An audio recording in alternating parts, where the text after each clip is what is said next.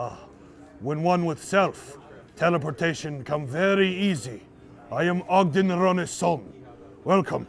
Today I show you how to get to Airstrip by Ironforge on WoW. Come with me as I teach you how to fly. Hasui! To get to the airstrip that's directly east from Ironforge, there are two ways. One, you can fly, or if you cannot fly, there's a quest chain that allows you to get to the airstrip. The quest chain starts at Barham's Post, southeast of Ironforge. Make sure to complete all the quests at Barham's Post, from both Barham and the rest of the dwarves in the camp. From Barham's Post, you can fly north to the airfield.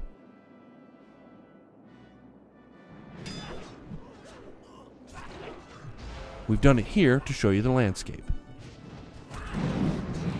And there it is the airfield.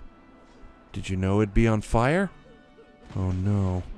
Ah, the view is very breathtaking, no? Now you know how to get to Airstrip by Ironforge. I am Ogden Ronis son. Hasoi!